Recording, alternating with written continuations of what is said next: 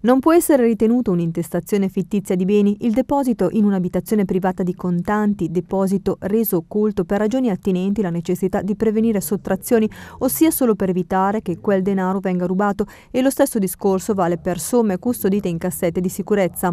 Così la Corte d'Appello di Milano ha motivato la conferma della soluzione per Fabrizio Corona dall'accusa principale per la nota vicenda dei circa 2,6 milioni di euro trovati in parte in un controsoffitto e in parte in Austria.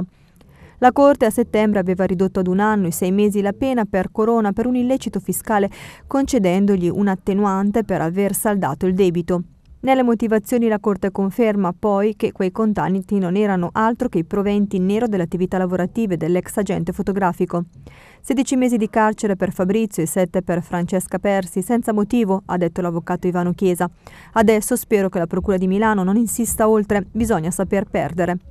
La sentenza, ha spiegato l'avvocato che ha difeso l'ex re dei paparazzi assieme al collega Luca Sirotti, conferma che i soldi erano leciti e frutto del lavoro di Corona e delle società. Non c'è mai stata, ha aggiunto, nessuna intestazione fittizia, era solo un problema fiscale sanato con il pagamento delle tasse. I giudici d'appello Brambilla, Nunnari, Puccinelli tre mesi fa hanno confermato l'impianto della sentenza di primo grado del giugno 2017 del collegio presieduto da Guido Salvini, che aveva già spazzato via le accuse principali, intestazione fittizia di beni e violazione delle norme patrimoniali sulle misure di prevenzione contestate dalla DDA su quei 2,6 milioni trovati in parte nel controsoffitto dell'amica Francesca Persi, pena ridotta a tre mesi, e in Austria, e che avevano portato l'ex agente fotografico nuovamente in carcere nell'ottobre del 2016, misura cautelare annullata dai giudici di primo grado.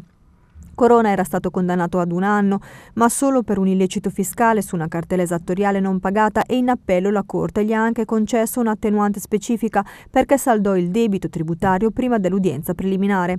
È accertato e incontestato, scrive la Corte nelle motivazioni depositate oggi, che le somme rinvenute nel controsoffitto nelle cassette di sicurezza austriache siano da ricondurre a proventi in nero delle attività lavorative svolte da Corona attraverso la società Fenice SRL prima, Atena dopo.